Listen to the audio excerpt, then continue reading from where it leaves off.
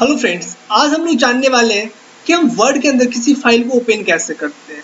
मतलब कि हमने जिस फ़ाइल को पहले बनाया है, आज हम उस फ़ाइल को ओपन करना सीखेंगे। तो चलिए हम बिना देरी के अपने आज के क्लास को स्टार्ट करते हैं। अच्छा क्लास स्टार्ट करने से पहले हमेशा एक आपसे रिक्वेस्ट रहेगा इस चैनल पर नए तो इस चैनल को ज़रूर सब्सक्राइब कर ले, ताकि हमारी आगे आने वाले क्लासेस आपसे कभी मिस ना हो। तो चलिए हम अपने वर्ड के ऊपर एक डॉक्यूमेंट को स्टार्ट करके देखते हैं। हम अपने एक डॉक्यूमेंट को ओपन करके देखते हैं। तो मैं इसके लिए आऊँगा फ़ाइल के ऊपर। फ़ाइल के ऊपर आने के बाद आपको यहाँ पे एक सेक्शन ओपन का दिख रहा होगा। मैं इस ओपन के ऊपर क्लिक करूँगा। इस ऊपर जिस फ़ाइल को ओपन करना चाहता हूँ, मैं उस फ़ाइल के ऊपर क्लिक करके उस फ़ाइल को ओपन कर सकता हूँ। यहाँ पे मैंने रिसेंट में, यहाँ पे ये दो फाइल्स मैंने बनाई थी। मैं इस फ़ाइल को क्लिक करता हूँ और ये देख सकते हैं बड़ी आसानी से वो फ़ाइल यहाँ पे लोड हो गया है। तो अब देख, देखा अभी आपने, हम लोग किस तरह से बहुत आसानी से एक फ़ाइल को यहाँ पे ओपन कर सकते हैं। साथ में आप इसमें कोई भी चेंजेस करके इसे सेव भी आप कर सकते हो। सेव करने के लिए आपको यहाँ पे आना है। सेव और आपको सेव एस आपको यहाँ पे दो ऑप्शंस दी जाती है।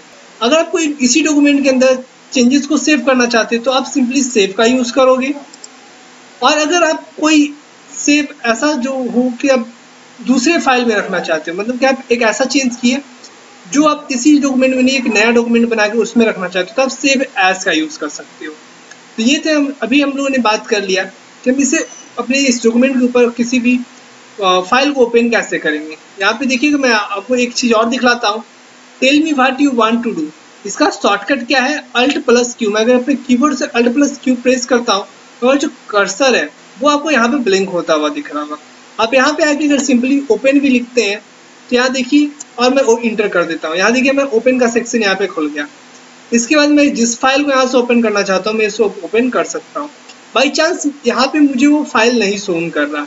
तो मैं यहाँ पे ब्राउज के ऊपर क्लिक कर सकता हूँ। ब्राउज के ऊपर क्लिक करने के बाद मैं जिस फ़ाइल को ओपन करना चाहूँ, मैं उस फ़ाइल को ओपन कर सकता हूँ। जैसे कि मैंने अभी आपको वन तो स्टार्ट करके दिखलाया था, अब मैं आपको टू स्टार्ट करके दिखाता हूँ।